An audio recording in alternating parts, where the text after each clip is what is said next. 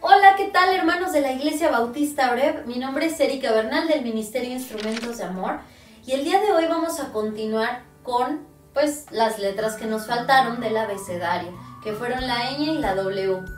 Acuérdense que por la serie que estábamos llevando, pues la ñ y la W no entran, ¿verdad? Eso era algo que ya habíamos explicado en los primeros tutoriales cuando estábamos viendo la forma de escribir. Y el día de hoy entonces vamos a poner la ñ. Que la ñ, si recuerdan, son los puntos 1, 2, 4, 5, 6. Estoy juntando aquí mis bolitas, ¿verdad? Los voy a poner, ¿qué será? En estos últimos dos cuadratines, yo creo.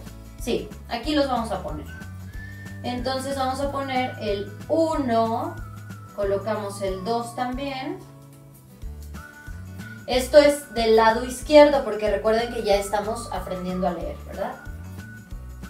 1, 2, 4, 5 y 6. Y ahí quedó nuestra letra ñ, es decir, todos menos el 3.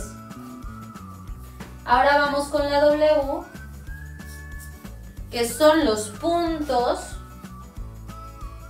2, 4, 5 y 6.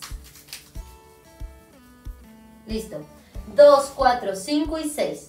Entonces, solo para recordar, ¿verdad? Nuestra regla, nuestra reglita de lectura y escritura. El punto 1 siempre está del lado de la función que realizo. Como ahorita estoy leyendo y estoy leyendo de izquierda a derecha, mi punto 1 está del lado izquierdo. Entonces, ñ, para hacer un repaso, punto 1 del lado izquierdo arriba, punto 2 abajo, bueno, en medio, punto 4 arriba a la derecha, 5 en medio y 6 abajo. Y la W sería el punto 2, que es del lado izquierdo en medio, punto 4, 5 y 6, que son arriba en medio y abajo del lado derecho.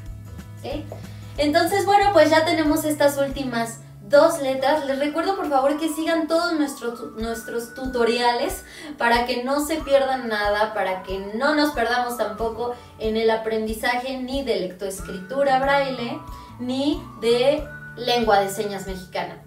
Síganos por favor todos los martes, los miércoles a las 12 del día y en nuestra página de YouTube, de Facebook y todas las actividades de nuestra iglesia, OREP Iglesia Bautista. Muchas gracias y nos vemos en el siguiente tutorial. Adiós.